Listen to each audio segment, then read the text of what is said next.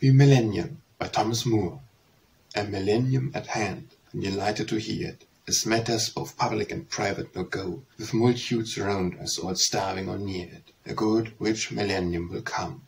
Only think, Master Fred, what delight to behold, Instead of a bankrupt old city of wrecks, A brand new Jerusalem built all of gold, Sun bullion throughout from roof to the flags.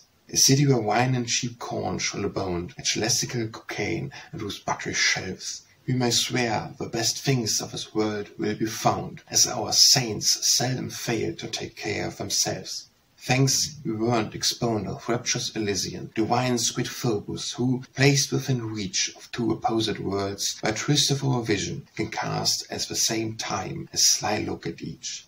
Thanks, thanks for the hope, though fondest, that we may even in our own times jewel share, Which so long has been promised by prophets like we, And so often postponed we began to despair. There was Whiston who learnedly took Prince Eugene for a man who must bring the millennium above. Miss Faber whose Peart's productions have been all belied ere his book's first edition was out. There was Counsellor Dobbs to an Irish M.P., who discoursed on the subject which signally clung, and each day of his life sat expecting to see a millennium break out in the town of Armagh.